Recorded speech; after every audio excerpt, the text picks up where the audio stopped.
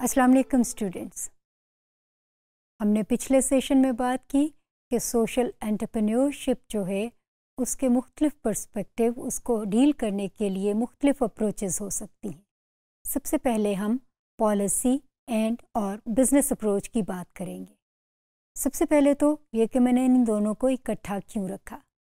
अमूमन पॉलिसीज़ जो हैं, वो थ्रू बिजनेसेस या बिज़नेस लाइक कॉरपोरेशंस या ऑर्गेनाइजेशंस इम्प्लीमेंट होती हैं। गवर्नमेंट पॉलिसीज़ ओन करती हैं। दूसरी तरफ़ बिजनेसेस जो हैं, वो किसी ना किसी पॉलिसी के तहत चलते हैं खा वो रूल्स एंड रेगुलेशंस की फॉर्म में हो, या गवर्नमेंट के किसी और नॉर्म और वैल्यू सेट या प्रैक्टिसेस की एडवाइस की फॉर्म में हो। इसलिए पॉलिसी और बिज़नेस पर्सपेक्टिव जो सोशल एंटरप्रेन्योरशिप के हैं, वो अमूमन इकट्ठे ही आते हैं। बाज़ात सोशल एंटरप्रेन्योरियल इनिशिएटिव्स, पॉलिसी और बिज़नेस मॉडल्स का बहुत ही एक नाइस ब्लेंडिंग आप उसको कह सकते हैं। लेकिन हम इनको थ्रेटिकल कन्वीनियंस के लिए बारी बारी देख लेते हैं। जब हम सोशल एंटरप्रेन्योरशिप के पॉलिसी पर्सपेक्टिव की बात करते हैं तो अमूमन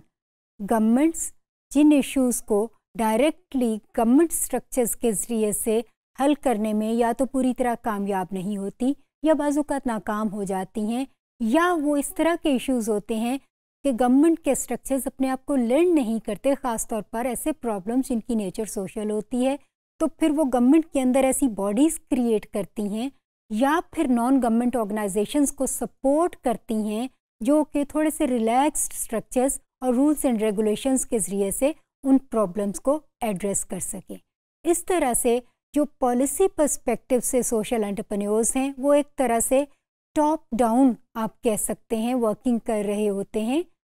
टॉप डाउन से ज़रूरी नहीं है कि वो सिर्फ़ लॉबिंग एडवोकेसी या रूल्स एंड रेगुलेशंस की रिवीजन और अमेंडमेंट की बात कर रहे हों या उन पर काम कर रहे हों, वो ये भी करते हैं। लेकिन पॉलिसी पर्सपेक्टिव जो है, वो प्रैक्टिस तक आता है जहाँ सोशल एंटरप्रेन्योर्स इंडिविजुअल्स जो प्रॉब्लम्स का सामना कर रहे हैं, उनके साथ वन ऑन वन सिचुएशंस में भी डील करते हैं। तो पॉलिसी पर्सपेक्टिव में जब एंटरप्रेन्योर्स काम करते हैं तो उनका बहुत सारा वक्त जो है, वो गवर्नमेंट रेगुलेशन को पूरा करने फंडिंग अपॉर्चुनिटीज़ क्रिएट करने, या गवर्नमेंट से ग्रांट्स और फंड्स लेने और इस तरह की जो गवर्नमेंट के ऑर्गेनाइजेशनल स्ट्रक्चर्स में जो कॉम्प्लेक्सिटीज़ होती हैं, उनसे डील करने में उन्हें बहुत सारी इन्वेस्टमेंट करना पड़ती है। अगरचे वो एंटरप्रेन्योरियल इनोवेटिव और क्रिएटिव होते हैं तो वो अपने मिशन से जो कि सोशल चेंज और सोशल इम्पेक्ट है, उससे फोकस शिफ्ट नहीं होने देते, लेकिन एक कंसिडरेबल एनर्जी आप कह सकते हैं, ये पॉलिसी पर्सपेक्टिव में वो इन चीज़ों के ऊपर लगती है।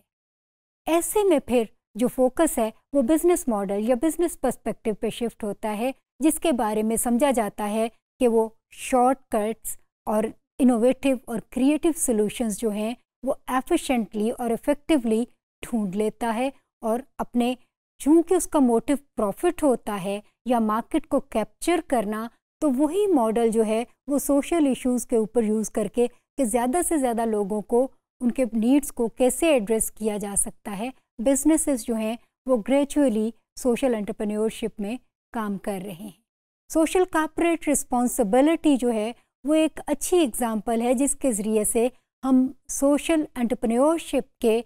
बिज़नेस मॉडल को समझ सकते हैं। दुनिया भर में बहुत सारी बड़ी और बहुत सारी छोटी ऑर्गेनाइजेशंस जो हैं, उन्होंने एक पूरा कंपोनेंट सोशल कॉपरेट रिस्पॉन्सिबिलिटी का रखा है, जिसका ज़िक्र हम पीछे कई मॉड्यूल में कर भी चुके हैं कि किस तरह बड़े बड़ी कारपोरेशंस कारपोरेट्स और बाजू का छोटी छोटी कंपनियाँ कुछ इन्वेस्टमेंट जो हैं वो सोशल इम्पेक्ट के लिए लोगों के मसाइल को हल करने के लिए करती हैं और उससे एक पूरा जो एक सस्टेनेबिलिटी का उनका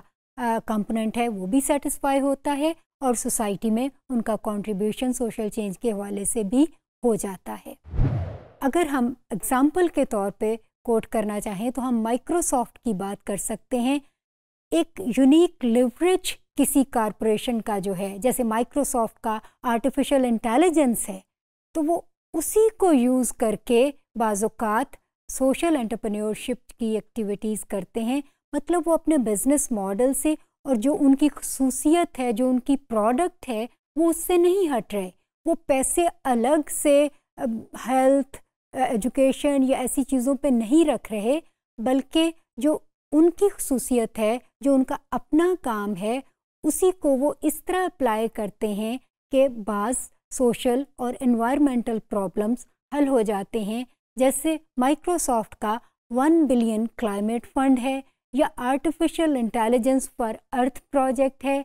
ये माइक्रोसॉफ्ट की खसूसियात हैं, ये उनके वो करेक्टरिस्टिक्स हैं जिनकी वजह से वो जाने जाते हैं और वो उन्हीं को यूज़ करते हुए उस बिज़नेस मॉडल को अप्लाई करके सोशल और इन्वायरमेंटल प्रॉब्लम्स को हल करने और माशरे में पॉजिटिव सोशल चेंज लाने की कोशिश कर रहे हैं। Thank you